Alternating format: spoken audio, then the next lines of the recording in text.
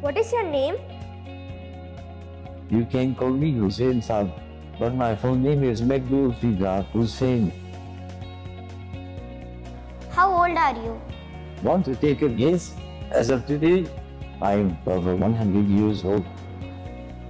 Are you real? As close to you, enough to impress you. Please ask me, what do you need to know about me? Why are you at MAP?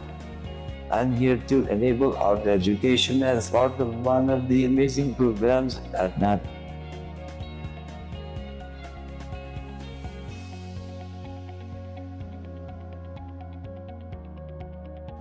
How would you describe yourself? A painter who prefers to walk barefoot, a filmmaker with a difference, and a lover of the most expensive cars on earth. So, what is your favorite painting? The painting of the two sisters, who are actually my daughters, Why do you talk like that? I'm over 100 years old now. That is why you will find me fumbling when I talk. Why do you always hold paintbrush in your hand? I always paint on the run, so I prefer to have my brush with me always. When was your first solo exhibition?